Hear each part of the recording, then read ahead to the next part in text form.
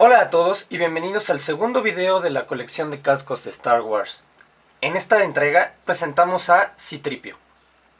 Esta es la única entrega en la que yo he visto que tratan de presentar un nuevo modelo de revista.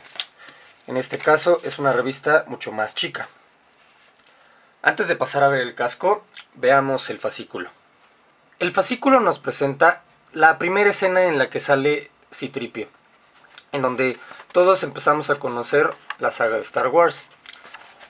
Aquí fue donde el Star Destroyer está persiguiendo al Tantive 4 que trae los planos de la Estrella de la Muerte, en donde Citripio y Artuditu bajan al planeta Tatooine y son encontrados por Luke Skywalker. Esta escena es muy criticada por el hecho de que no, no tiene sentido. No tiene sentido el hecho de no haberle disparado al, al pot de rescate, porque realmente no cambia nada si lo destruyes o no. Pero bueno, algunos dicen que son que fue la fuerza. Este evento fue el que ocasionó toda la saga de Star Wars, o al menos eso nos los presentaron en las primeras películas. Citripio es el único personaje que ha salido en este momento en todas las películas que se han publicado. Y llegamos a la parte informativa del casco, donde nos dicen todos sus componentes, para qué sirven,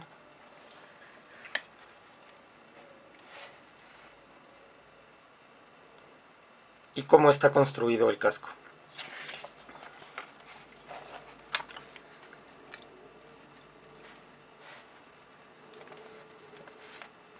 Nos enseñan todos los lugares en donde ha estado Citripio.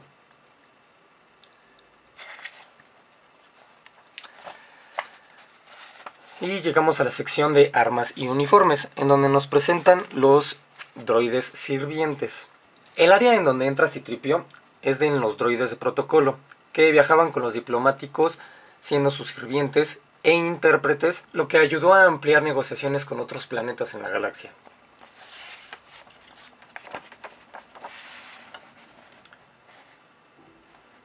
Existen muchos droides como el droide puerta y el droide camarera. Y bueno, este es el fascículo. Una versión mucho más chica, mucho más práctica. Pero yo ya no he visto más entregas con estos tamaños. Y ahora veamos el casco. Y este es el único problema que yo tengo con esta entrega. Y espero que se den cuenta de ello. Este no es un casco. Definitivamente no es un casco. Es la cubierta de circuitos de un droide. Así de simple, no es un casco, un casco lo lleva alguien puesto. Si a Citripio le ponen un casco, ah bueno, entonces sí, véndanme el casco de Citripio, pero esta es la cara de Citripio. Es algo que no termino de entender.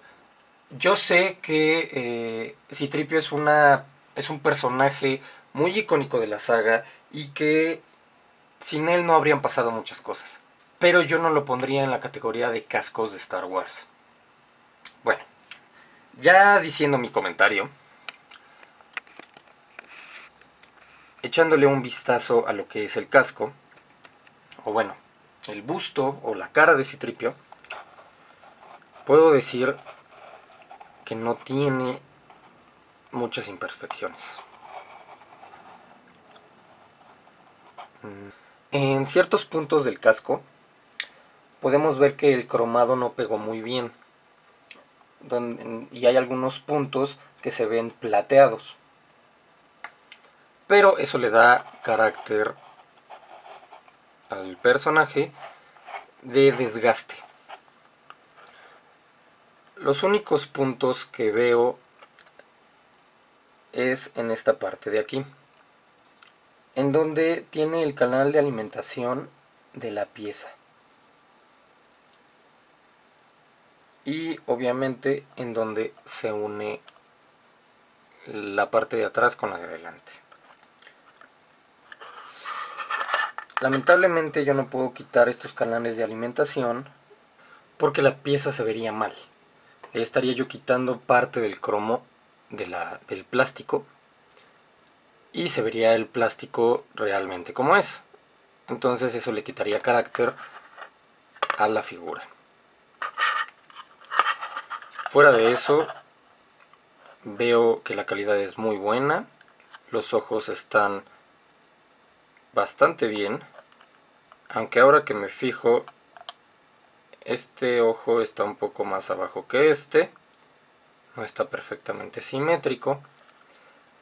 Pero este es en el caso de este casco. No sé las demás entregas cómo estén. Y bueno, este fue el segundo video de la serie de cascos de Star Wars. Espero podamos platicar en los comentarios lo que yo expresé acerca de esta entrega. Fuera de eso, espero que les haya gustado el video. Muchas gracias por suscribirse y nos vemos en la próxima.